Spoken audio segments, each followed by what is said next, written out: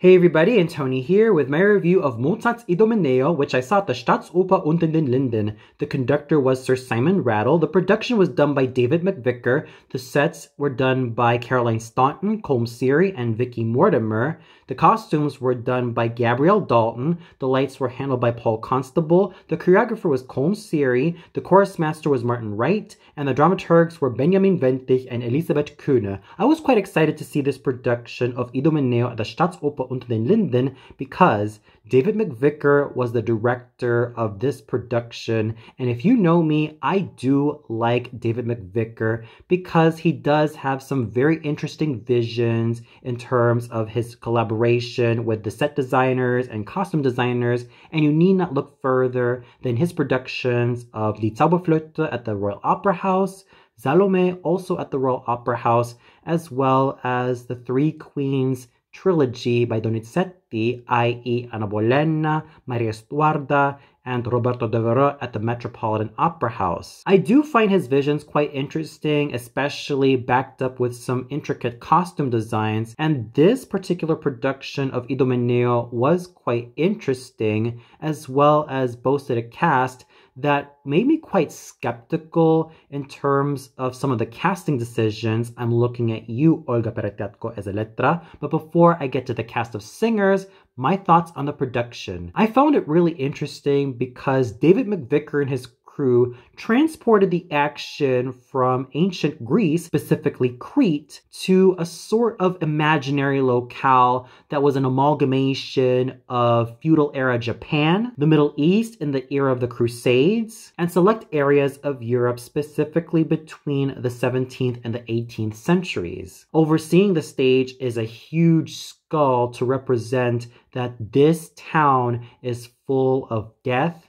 destruction, chaos, and tyranny. Therefore, people are suffering, they're under oppression, and they're in so much turmoil. And a new king needs to herald a new era of peace, love, tolerance, and harmony. The production also illustrates Idomeneo as a sort of tyrannical despot who's not really all that warm towards Idamante, his own son, and doesn't even want to give up his title as king, but he ends up being forced by Arbace, his most loyal right hand man, and his followers to give up his title once Idamante escaped death and ends up marrying Ilia, thus making him not only unwilling to abdicate his title as king, but also end up going into the land of shadows and ghosts. And the costumes reflect Idomeneo, Elettra, Arbace, Idamante, Ilia, the high priest,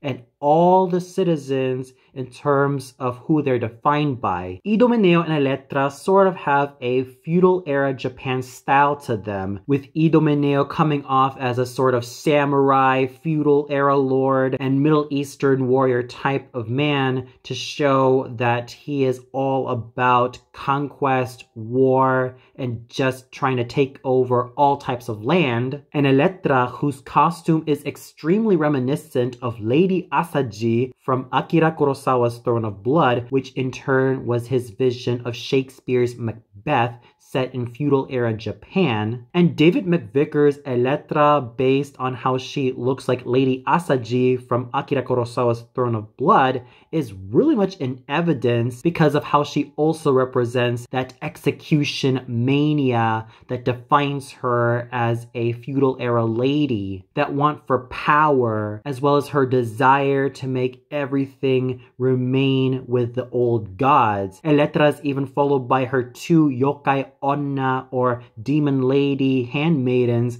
to show that she is somebody who worships the ancient Japanese gods and is not willing to change anytime soon, and is someone who is extremely proud of her Japanese heritage, although Elettra is originally from Mycenae, Greece. And the way Elettra ends D'Oreste d'Aiace is that you think she'll end up committing harakiri, but she puts her katana down and she ends up being spirited away, as if to state that there'll be no more death, no more slicing off heads, and no more sacrifices, especially considering that Idomeneo also wields a katana to exercise his dominance as a feudal era lord and samurai who reigns all over people with death looming upon them, as well as a tyrannical iron fist. So while Idomeneo and Elettra represent a feudal era style in which they are an amalgamation of Japanese and Middle Eastern, with Elettra going all out with her Japanese style, Idamante also has a cross design between the Japanese style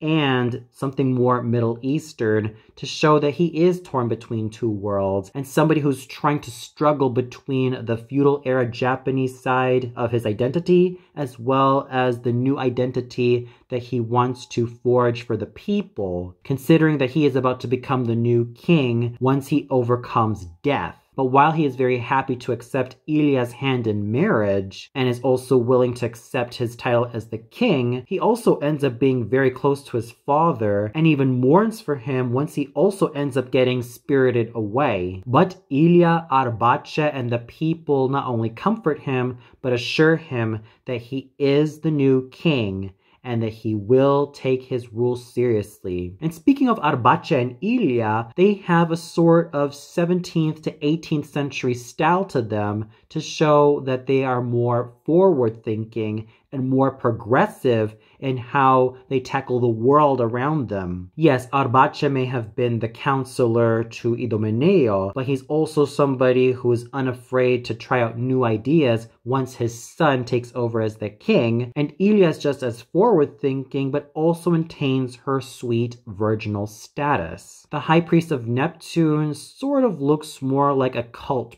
priest to illustrate that he is somebody who keeps to his roots. And the interesting thing about how the opera ends is that it's not only Elettra that ends up getting spirited away, it's also Idomeneo. After he gives Idamante his regal robes, he is then confronted by Arbace and his followers that he should just give it up because his era as king is over and it's time for him to go away to the land of shadows where he'll never be seen again, which also troubles Idamante because now he has to rule his kingdom without his father by his side. And that's also deviating from the original score because in the original libretto, Idomeneo joins in the rejoicing alongside his son and his daughter-in-law, with Elettra either exiling herself or committing suicide. But it's also to show the progress of going from an old king to the new king and the new king has to make these new rules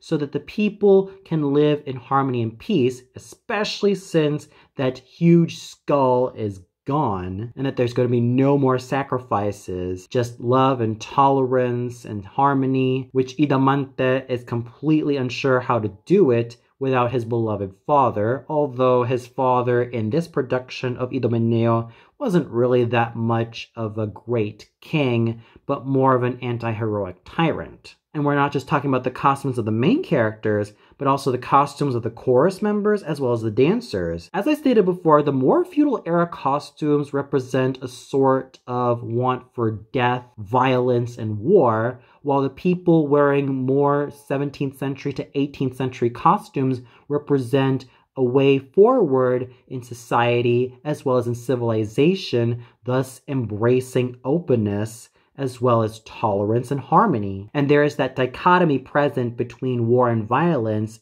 and peace and harmony that is pervasive throughout this production of Idomeneo. So this production of Idomeneo by David McVicar had some very interesting and intricate costume choices, set choices, and directions. And while it may not have that pomp and regalness found in Jean-Pierre Ponnelle's production of Idomeneo, it still had a lot to go for in terms of the directions taken, found in the Asian and Middle Eastern influences of this production. And now we get to the singer starting off with Andrew Staples as Idomeneo. While he did act the role with sufficient anti-villainousness as well as ambiguity, even to the point where he found the dichotomy of Idomeneo being this powerful king and wants to be this hero for the people, but somebody who just doesn't want to give up his old rule and even give up his rule as a king to his own son and is antagonistic towards him, his voice lacked that heroic sword like quality that I associate with tenors singing Idomeneo, and it also lacked that extra meat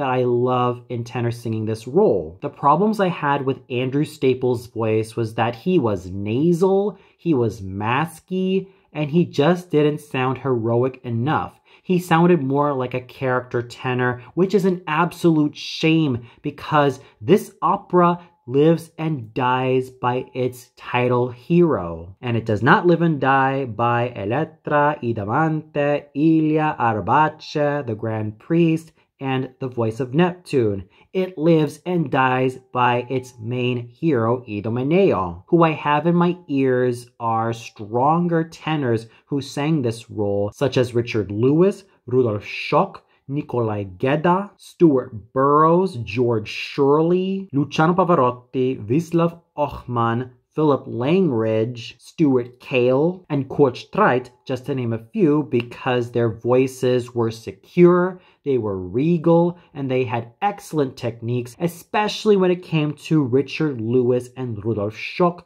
who had excellent squillo, and Nikolai Gedda, who was more lyrical in timbre, but also had that beautiful voice to back him up. Oh, unless I forget about Wiesław Ochman, who also had that strength in his voice, that meatiness in his voice, that reminded us, the listeners, that Idomeneo is first and foremost a king, and a warrior king at that. Andrew Staples was insufficient in that heroic quality because he sounded nasal, he sounded almost too much like a character tenor, and the problems with his nasal vocal production meant that he couldn't make Idomeneo sufficiently heroic let alone sufficiently macho. But he did show moments of slight improvements in the later parts of the opera, but that's not really enough to quell the overall disappointment I had with Andrew Staples as Idomeneo. If he could just work less with the mask and work more with the pharynx, as well as dig into some really good chest tones, as well as coordinate his head voice and chest voice well,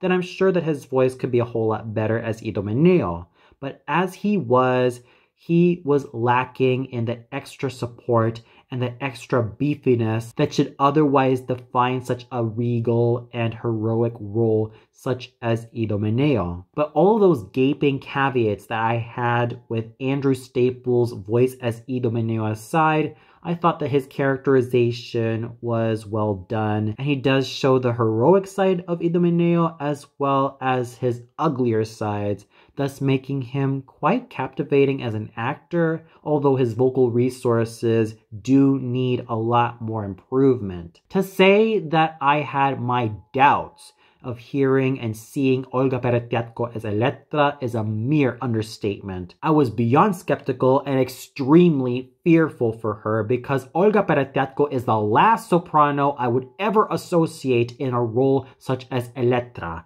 And if you know me when it comes to any singers who dare sing Elettra, I prefer a true dramatic coloratura soprano singing this role, let alone any dramatic soprano with good coloratura. Sure, there are dramatic sopranos and spinto sopranos such as Birgit Nilsson and Enriqueta Tarrés, but I also prefer voices such as Maria Stader, Rae Woodland, Joan Sutherland, Pauline Tinsley, who was also a fine dramatic soprano, Hildegard Behrens, whose voice could also go astride the spinto and dramatic soprano repertoires, Edda Moser, Monica Pick-Hieronimi, Faye Robinson, although her voice is quite on the light side, but she had very good technique. Carol Neblett, Roberta Alexander, Mariela Devia, Sally Wolf, Kathleen Cassello, Helen Kwon, and Claudia Kunz Eisenlohr, because these were fine sopranos, whether they be dramatic soprano, a spinto soprano, or most of all a dramatic coloratura soprano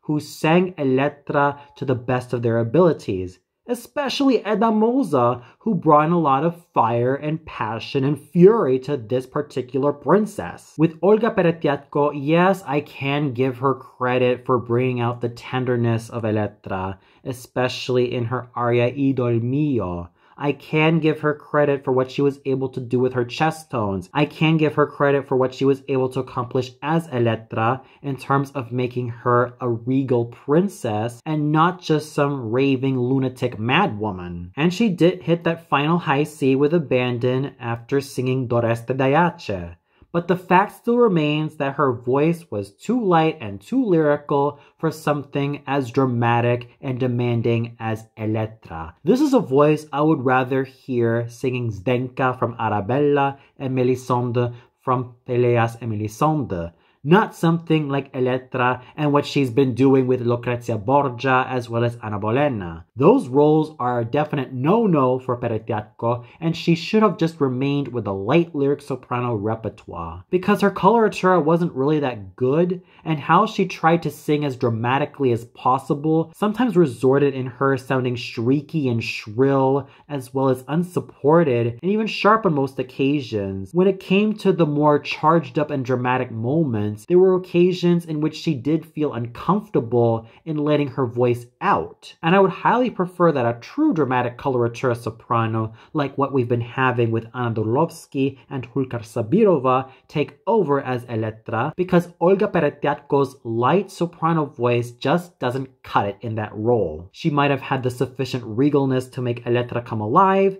but her vocal resources were extremely insufficient despite trying her best in that particular role. It's just that a true dramatic coloratura soprano is necessary to make Elettra come alive. I thought that Linard Vrielink stole the show as Arbace. Yes, his voice might not have been as big and loud such as Peter Schreier's or Hermann Winkler's, or even that of Thomas Moser's. But what he was able to do with Arbace was infuse him with so much charisma and charm, as well as sufficient youthful virility that made Arbace come to life as a character, as well as an overall right hand man and an overall human being. This is an Arbace who does show concern for Idomeneo and shows loads of concern for Ilia, especially in her moments of doubt and even in his moments of doubt. So his characterization of Arbace was well done, especially helped with his sufficiently beautiful and well coordinated light lyric tenor voice that managed to reach some really impossible heights. For instance, in his rendition of Se il tuo duol, he managed to hit a high D that I did not expect him to sing because usually when I think of tenors singing Se il tuo duol, I would usually expect them to hit high C at the most. But here, Linard Vrielink just went all out and let his voice out with abandon. The same thing can be said about his second aria. He also hit a high D as well as a high C, thus making him steal the show from nearly everybody's feet. And, pardon my French, he totally rocked in that role. Even though his voice wasn't really as incisive or really huge, let alone really full, Linard Vrielink managed to sing Arbace with full abandon and also gave his vocal prowess a go with some very interesting choices for high notes, and I do salute his efforts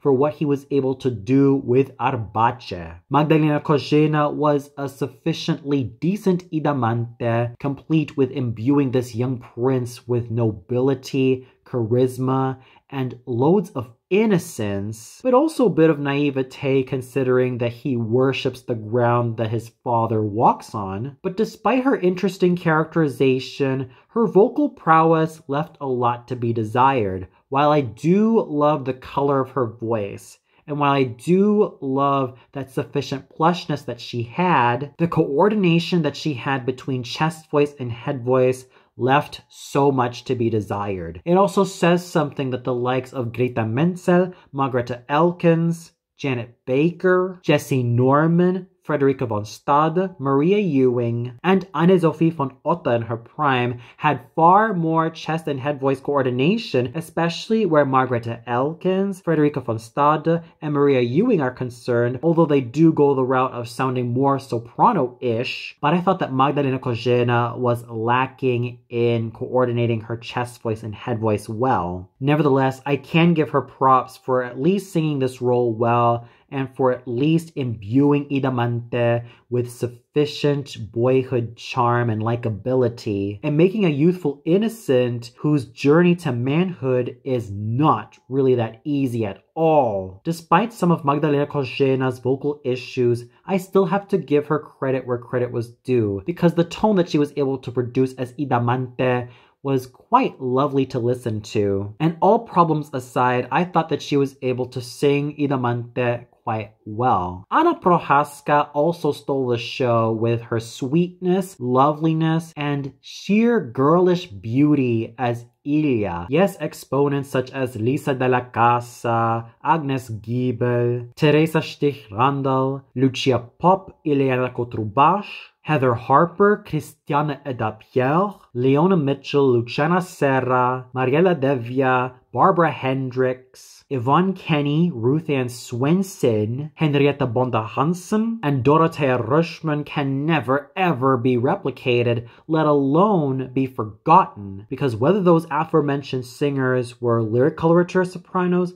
light lyric sopranos, or full lyric sopranos. Oh, unless they forget about Pilar Lorengar, who also not only combined that girlishness, but also had that sufficient steel in her voice to make Ilia a strong character. So whether they were all those type of sopranos, be they lyric coloratura, light lyric, or full lyric, those voices could never ever be forgotten because they had superb techniques and had great coordination with sufficient beauty in size as well as volume. Anna Prohaska's voice as Ilia may not be the most voluminous, but it had sufficient girlish beauty that made Ilia come alive as a character and that made Ilia's innocence all the more endearing to listen to as well as witness on stage. Miss Prohaska radiated with a certain sweetness and loveliness and ingenue vulnerability that made me as the audience root for Ilia to have her happy ending with Idamante, especially evidenced in her arias Padre germani addio, Se il Padre Perdei, and Zeffiretti lusinghieri, in which that aria was her best moment ever. There was sweetness in her emission, and there was that youthful beauty that Anna Prohaska has been very well known for. Yes, she will never reach the likes of Lucia Popp, or even that of Ileana Cotrubaș, let alone Teresa Stich-Randall, Heather Harper, and Christiane Eda-Pierre. But Anna Prohaska with her lovely light lyric soprano voice that had a sweet emission and that was sufficiently clear was in a class of her own. And here's also hoping that I get to see and hear her challenge herself a lot more with all of these wonderful roles in the light lyric soprano repertoire because she has been maintaining that as her main bread and butter for many years and she shows no signs of stopping. So I definitely have to salute Anna Prohaska for a job well done as Ilia. Florian Hoffmann was a fine high priest of Neptune, but there were occasions in which I was not buying his whitish nasal tone. That's not to say that his characterization was bad or was lacking. His characterization did show some sufficient strength, and he was sufficiently stoic on stage thus showing that the high priest is not one character to mess with. But his vocal production left a lot to be desired, and I do miss that richness and fullness that I love in many a light lyric tenor singing the role of the high priest. But that is otherwise quite the dent to pay for such fine characterization of the high priest even though I would really love a lot more vocal strength in that particular role. Regardless, Florian Hoffmann did what he could with his character tenor voice to make the high priest come alive, but the whitish tone slash nasality in his voice did not really sell me. At least when it came to Jan Martinik as the voice of Neptune, he managed to use his plush and sufficiently round basso cantante slash basso profondo voice to make the role of Neptune imposing and strong, thus making him steal the show even though he was an offstage voice. There was also some sufficiently beautiful singing accomplished by Marie Sofie Jacob, Ekaterina Chayka Rubinstein, Johann Johan Krogius and Friedrich Hamel, respectively, as the two Cretan girls and the two Trojan soldiers, whose voices were beautiful both individually and together. And here's also hoping that these fine young singers continue to develop their techniques in the right way possible because there is a nice future for each of these young singers. So overall, the singing was really hit or miss. Although I was extremely unimpressed with Andrew Staples' nasal voice as Idomeneo because he was lacking in that heroic meat and sword-like quality required for this role, and Olga Peretyatko's insufficient vocal resources as Elettra because I do expect a stronger and steelier dramatic coloratura singing this role. I do have to salute Linard Vrielink as Arbace, Anna Prohaska as Ilia, Florian Hoffmann using his character tenor voice for the role of the High Priest well, although his voice was quite whitish and nasal, and Jan Martinik, who managed to sing up a storm as the voice of Neptune. These five singers, with some exceptions reserved for Magdalena Kozena as Idamante and Florian Hoffmann as the high priest. Were in tip-top shape, especially Linard Vrielink, who sang up a storm as Arbace, despite his voice not being mega incisive, but that is neither here nor there, because he was a valiant light lyric tenor who just sang with abandon and just sang his heart out, and Anna Prohaska taking advantage of her girlish timbre and absolute sweetness as Ilia, unless I forget about the fine jobs accomplished by Marie Sofie Jacob, Ekaterina Chayka Rubinstein, Johan Krogius, and Friedrich Hamel for their respective roles of the two Cretan girls and the two Trojan soldiers for having such fine voices all around, and of course for strengthening tonight's performance of Idomeneo. So me not being a fan of Andrew Staples and Olga Peretyatko aside, I still have to give top marks especially to Anna Prohaska, Linard Vrielink, and Jan Martinik for such fine jobs in their respective roles, and some pats on the back to Magdalena Kozena and Florian Hoffmann for doing solid jobs in their respective roles although I would love a lot more coordination, a lot more meat in their voices. The conducting done by Sir Simon Rattle was excellent as always. He managed to tease out some nuances in the orchestra, and he was a very cognizant and conscientious conductor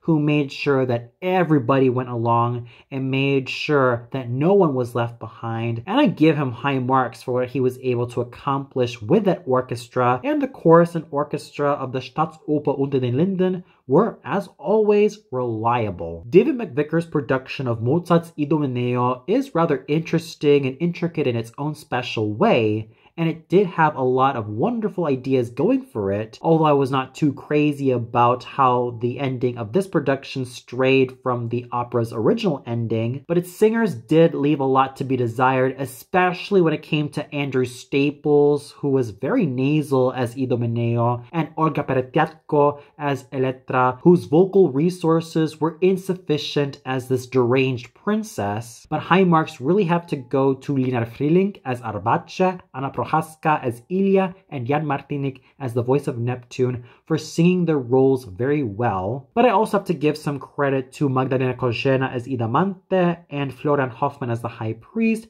for what they were able to do with their respective roles, although I would have loved to have a lot more coordination in their voices as well as more consistency. Nevertheless, there was great conducting to be had with Sir Simon Rattle, who really brought up the orchestra to such a great standard. And I saluted him for what he was able to do with not only the orchestra, but also what he was able to collaborate with Martin Wright as the chorus master. And for those of you who caught David McVicar's production of Mozart's Idomeneo at the Staatsoper unter den Linden, what'd you think of it? Did you really enjoy the production as a whole? And did you find it very interesting? Was there a singer that you thought was the strongest out of all the cast of singers? Or did you feel like this production, as well as the cast of singers, were not your cup of tea? please comment below and let me know because I would love to hear your thoughts and opinions. Well, that's it for my review of Mozart's Idomeneo at the Staatsoper unter den Linden. Tune in tomorrow for my review of Victoria Randem's Lied concert, also at the Staatsoper unter den Linden. So until then, good night, everybody.